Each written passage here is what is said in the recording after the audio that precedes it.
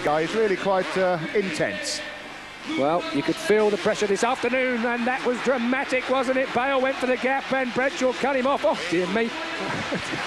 Bradshaw wasn't impressed at having Bayle's head, or having his head under Bayle's bike, I should say. Now then, we, uh, we didn't quite see it last night from our camera angle, but uh, we caught it then. Larry Ward snuck through, and we see it again as Bayle went for the inside line, basically got tripped up by uh, Bradshaw. Here we see it from another angle.